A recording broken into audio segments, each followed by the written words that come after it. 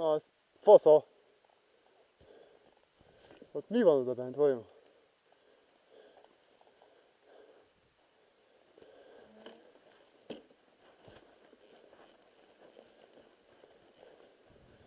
Yeah.